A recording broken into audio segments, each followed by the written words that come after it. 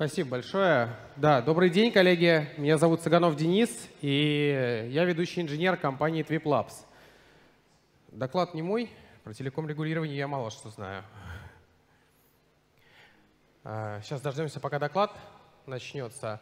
Коротко о нашей компании TwipLabs. Мы компания-разработчик программного обеспечения для IPTV и OTT услуг для операторов связи. Мы поставляем все решение, начиная от транскодеров, стримеров, сториджей, платформы, приложения под все возможные платформы, под Samsung, LG и так далее. Э, сегодняшний мой доклад будет посвящен о том, как мы делали SDN-сервис в нашей компании, которая называется Twip которая занимается э, оказанием сервиса для операторов связи по услугам IPTV. Но это агентская схема. И вот расскажу о том, как мы строили CDN, чего мы с помощью нашего CDN добились, и то, как мы делаем его. Э, значит, поехали. Как вообще, в принципе, у операторов связи исторически сложилась услуга IPTV? Изначально, да, когда операторы связи только заходили на этот рынок, они заходили с помощью плейлистов, мультикаста, просто выдавали его в сеть, скорее всего, это была бесплатная услуга, и можно было этот плейлист просто в VLC, например, да, положить, и, собственно, человек мог смотреть э, телевидение. А со временем там появлялось оборудование, появлялись приставки всевозможные, операторы связи, соответственно, ставили их себе на сеть, раздавали с помощью какой-то платформы, либо просто M3U плейлисты раздавали, и абоненты смотрели IPTV. Э, со временем появился Unicast, да, появились сегментные протоколы, HLS, Dash и так далее. И операторы начали переходить, собственно говоря, на него. Почему? Потому что у мультикаста достаточно много проблем. С ним он весьма капризный, да, если начинаются какие-то дропы на сети, UDP-трафик идет, дропнулось немножко э, пакетиков, картинка рассыпалась, клиент недовольный. Либо начались фризы, соответственно, в плеере и так далее.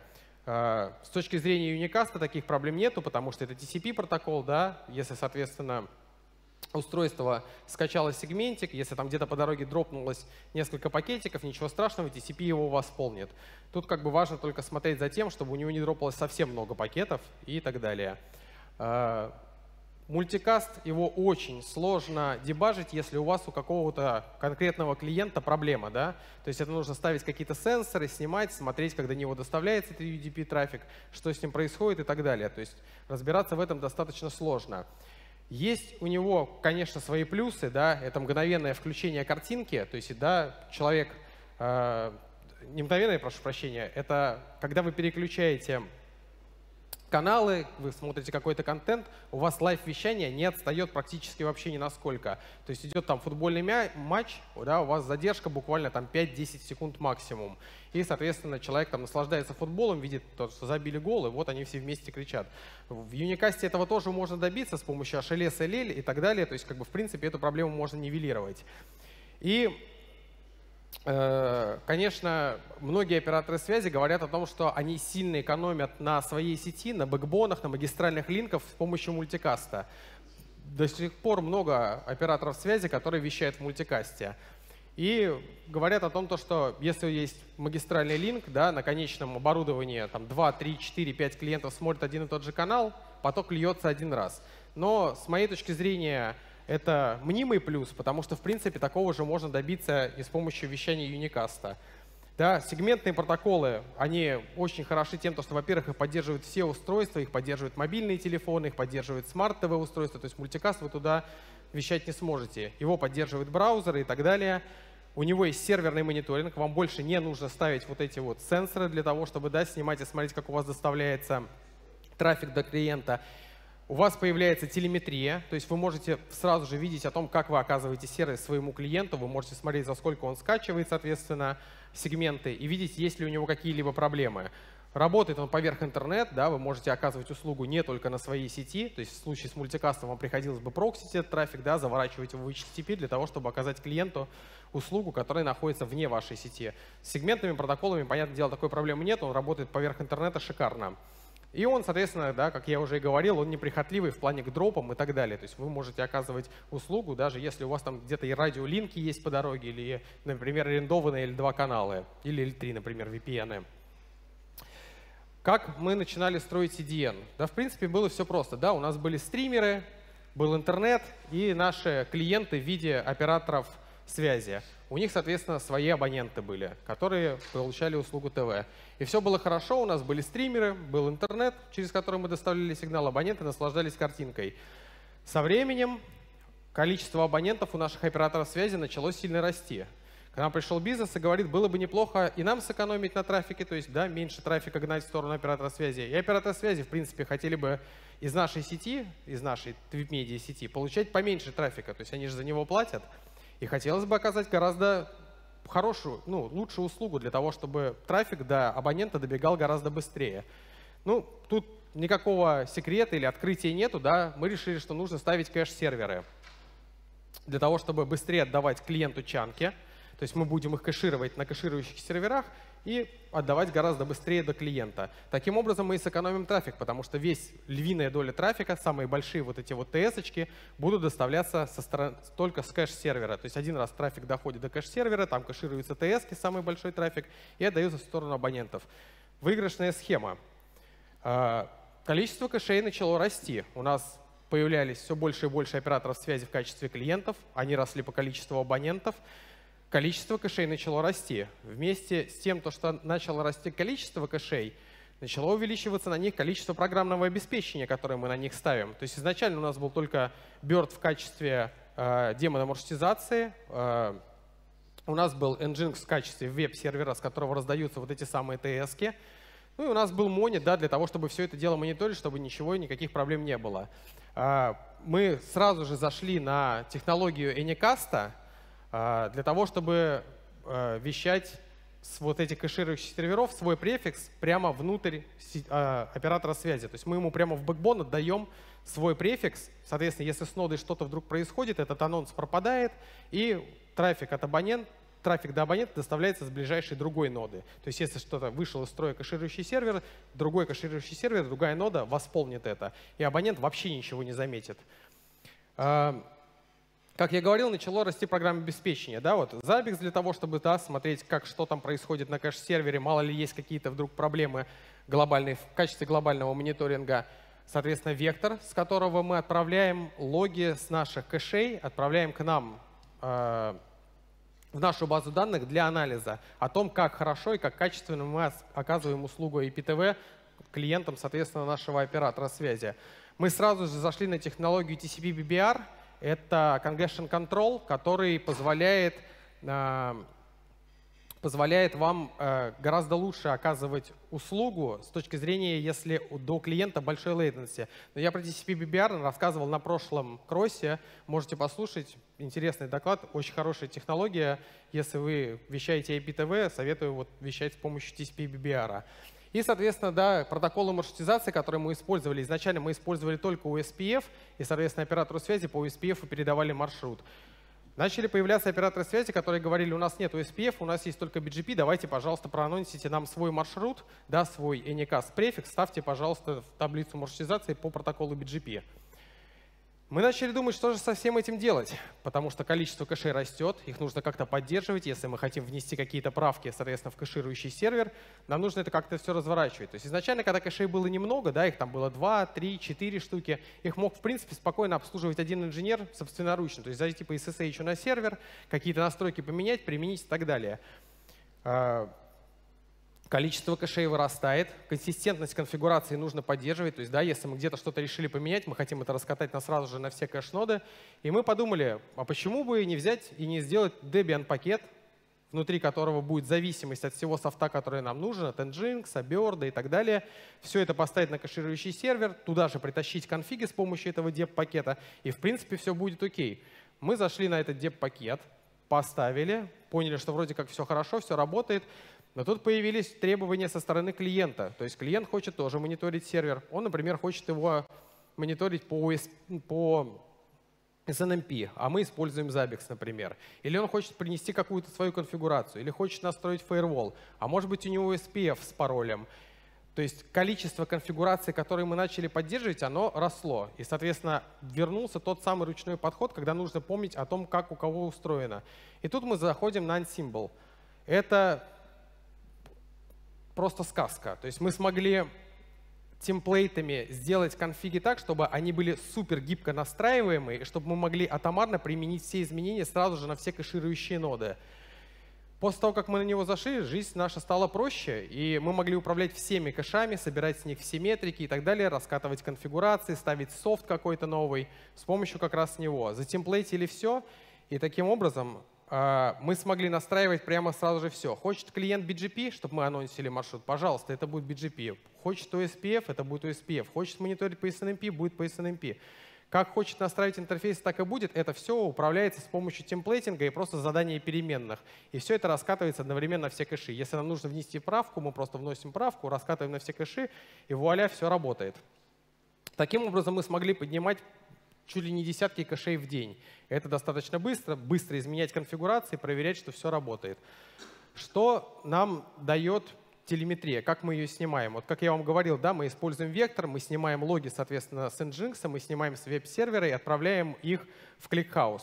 И по ClickHouse просто графаны их рисуем. Подход тоже не новый, да, просто многие его почему-то не используют. И что мы в итоге с этого всего получаем?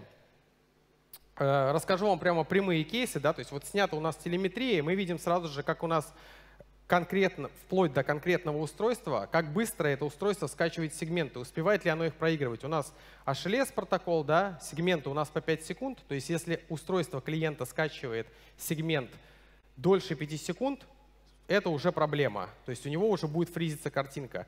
Нужно следить за тем, чтобы он успевал скачивать сегменты меньше, чем сегмент длится по секундам.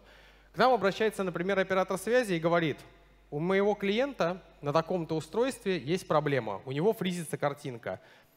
С помощью данных, полученных с телеметрии, мы заходим в Графану, выбираем конкретное устройство, с которым да, обратился оператор связи и сказал, что у абонента вот начались проблемы, и смотрим сразу же по нему график. Вот по этому графику видно, да, вот синенькие, э, синенькая линия о том, что он скачивал сегменты, вот здесь вот обратите внимание, написано request э, time, но это на самом деле response time, то, за сколько мы отдали сегмент с кэширующего сервера в сторону клиента. Он дольше 5 секунд. А раз он дольше 5 секунд, у него фризится картинка. Почему это происходит? Обращаем внимание на нижний график, на середину график, прошу прощения. Response time. Он медленно скачивает сегменты. Долго с кэширующего сервера отдаются эти сегменты. Проблема это клиента или проблема это кэш-сервера определить очень просто. Мы берем и открываем график по всему оператору связи и смотрим, а есть ли у него в принципе проблемы. А, также, соответственно, мы можем вычислять скорость, с которой скачивает а, устройство сегменты среднюю вычислять. Понятное дело, да, то, что у нас адаптивный битрейт, о том, что устройство клиента переключится на нижний битрейт, но в данном случае он даже нижний битрейт скачивать быстро не успевает. То есть он не успевает за 5 секунд скачать сегменты. Мы, соответственно, смотрим на график в целом по оператору связи. Есть ли у оператора связи какие-то проблемы? На графике мы видим, что в среднем по больнице у него все клиенты скачивают сегменты быстро. И о том, что конкретно этот клиент, другие его, например, устройства, они тоже скачивают сегменты быстро. То есть у него проблема с одним устройством. И у оператора в целом проблем нету. Мы, соответственно, отвечаем оператору да, о том, то, что вот тут на графике, сейчас, подождите, в другую сторону отойду, вот здесь вот видно то, что проблема у одного конкретного клиента. То есть вот, да, он скачивает медленные сегменты вот 12 секунд, 14 секунд. И видим его девайс ID. Вот один конкретный девайс у оператора, он скачивает медленно. Мы отвечаем, что это, скорее всего, проблема последней мили. То есть там устройство на Wi-Fi, как-то, не знаю, далеко его унесли, на мобильный телефон или еще что-то. То есть вот это проблема последней мили. С ней может разобраться оператор связи. В случае, если у оператора связи, вот не как тут график, да, вот здесь вот все у него хорошо, в среднем у него все быстро клиенты скачивают сегменты, отлично, нету никаких фризов, только у одного клиента проблемы. Если у оператора связи целиком проблема, или, например, он говорит о том, что у него была проблема, вот как в данном случае, ночью, то есть он нам утром открывает тикет и говорит о том, что у меня ночью были какие-то проблемы. Мы снимаем всю телеметрию и снимаем MTR, да, то есть весь traceroute, весь путь мы снимаем от кэша в сторону нашей сети и с нашей сети в сторону кэша. И всегда видим, есть ли какие-то изменения внутри этих маршрутов. То есть вот здесь вот, ой, прошу прощения, на графике видно о том, то, что э, терялись SMP-пакеты в сторону кэша. И мы видим, что здесь вот менялся путь, и вот здесь вот менялся путь. То есть с часу ночи до 5 утра были другие АЭС в пасе. У него. То есть переключение внутри операторов связи где-то шло. То есть там префикс по-другому полетел, или поменялся специфик, или еще что-то произошло. То есть поменялась сама трасса. Далее, соответственно, мы можем просто посмотреть MTR и посмотреть, а как же, как же она менялась, какие AS-пасы оно проходило, если увеличить график, да, то, соответственно, сразу же будет видно, через какие AES проходило. И мы, соответственно, сообщаем оператору связи, было переключение маршрутизации там, на таком-то э, операторе связи, ввиду того, что мы доставляем через интернет, да, у Тир-2 оператора связи переключился маршрут, ушло по другому маршруту, ушло через спиринг и так далее. Эту проблему, соответственно, мы можем сдать либо нашему оплинку, либо, соответственно, оператор связи может ее сдать своему аплинку, то есть в зависимости от того, кто посередине между нами. И либо, например, в пилинг мы можем обратиться и сказать, что да, вот у нас в такое-то время возникла такая-то проблема, соответственно, переключился маршрут. Давайте вместе разбираться и решим эту проблему. Вот все, что я рассказывал да, по поводу кэширующего сервера, сразу же возникает вопрос, а насколько он должен быть мощный для того, чтобы отдавать там, десятки гигабит трафика? Вот у нас здесь приведена конфигурация двух зионов, достаточно старых, L5630 по 2 ГГц, то есть там два процессора стоит. По-моему, они шестиядерные, если мне память не изменяет. И 12 гигов оперативы. С такого сервера мы можем отдавать легко в сеть 20 гигабит трафика. То есть с него оказывать услугу достаточно большому оператору связи, который да, пользуется нашими услугами. И что мы получаем на выходе? То есть как какая производительность у данного кэша. Вот тут три графика, соответственно, маленький оператор связи, который не сильно большой, у него клиенты в районе 300 мегабит трафика потребляют со стороны кэш-сервера. Кэш-сервер сам потребляет примерно 150, то есть выигрыш примерно в два раза по трафику. А, средний график, тут оператор уже более-менее побольше, да, средний. У него в пиках входящего трафика 500 мегабит, а исходящего трафика гиг 200. То есть уже там в полтора раза производительность. Если трафика уж совсем побольше, то есть вот да, здесь у нас приведен 15 гигабит с кэша отдается, а он потребляет ну, там 2-2,5, то тут уже 2 там примерно, да, 5, в 5 раз разница. То есть экономия в трафике получается по большому счету колоссальная как это, в принципе, может помочь в вашем бизнесе, да, если вы сами оказываете себе услугу, услугу телевидения. Если у вас, например, есть какие-то магистральные линки, которые с вашей точки зрения вы прогружаете ТВ-трафик, вы можете поставить кэширующую ноду прямо себе на сеть, просто поближе к этому узлу, за которым у вас большое количество абонентов. Либо, если вы, например, региональный оператор связи, да, оказываете в нескольких городах услугу, вы, соответственно, можете головную станцию поставить в один город, а кэширующий сервер поставить в другой город и получить такую же производительность. Важно, чтобы вы снимали метрики да, и видели, а как вы вообще в принципе оказываете эту услугу. Хорошо ли она у вас идет, есть ли какие-то проблемы у абонентов и так далее. И могли всегда посмотреть, как эту проблему решить. Ну и, соответственно, выиграете по трафику и выиграете в том, то, что у вас будет трафик и сегменты доставляться гораздо быстрее и ближе к абоненту будет. Собственно говоря, на этом все. Спасибо за внимание.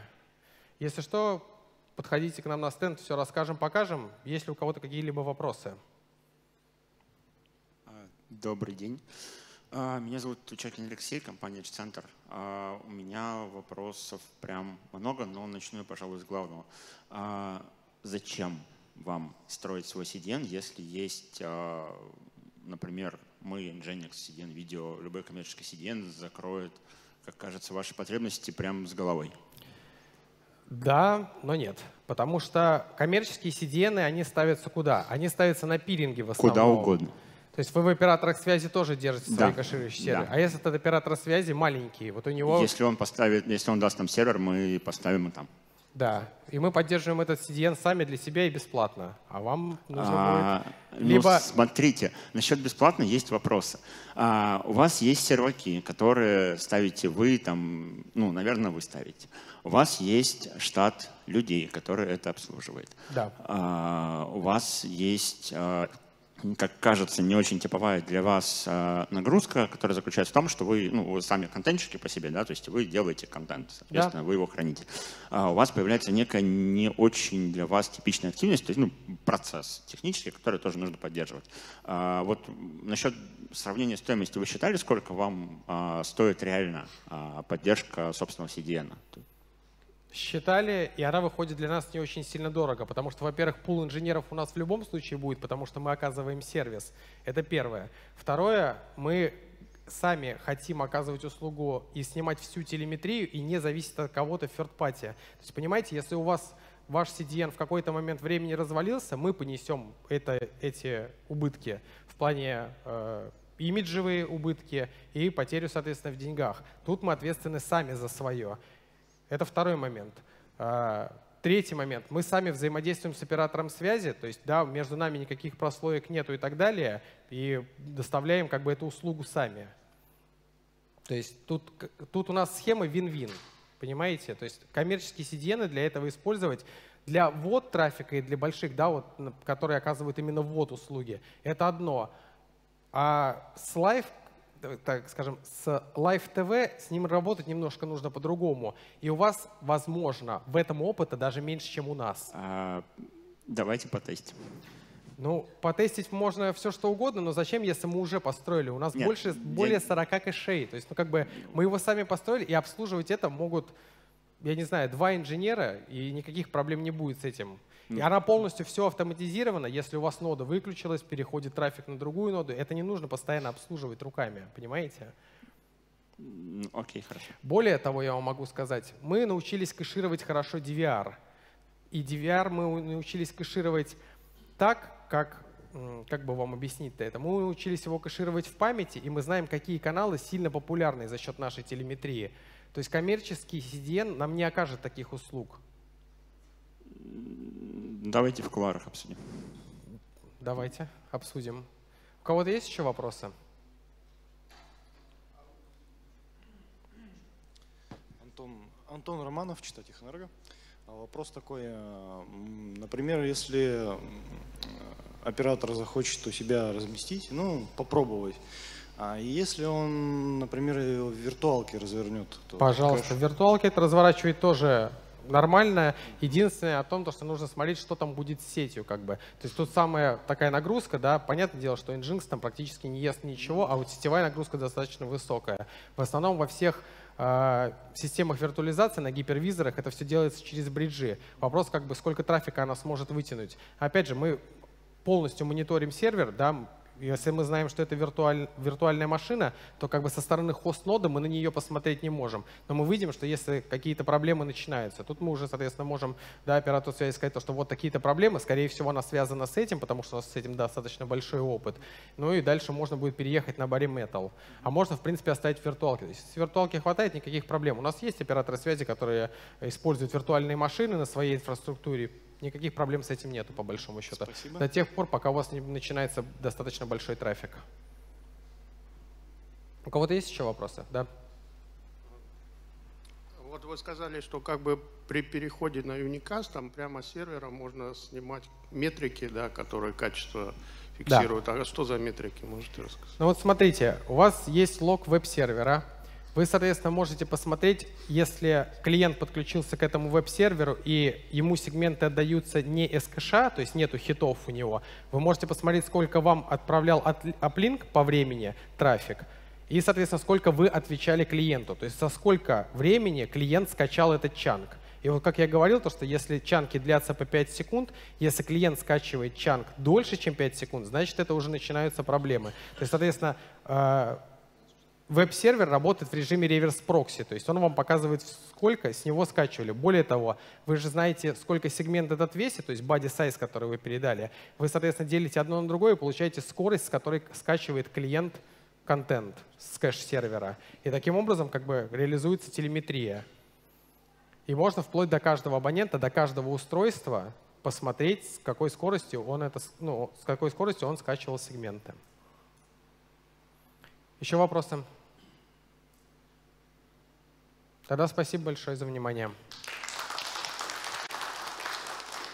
Спасибо, Денис.